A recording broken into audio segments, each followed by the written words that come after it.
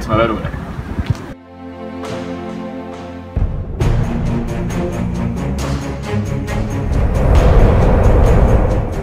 Tak tady jsme na konečně.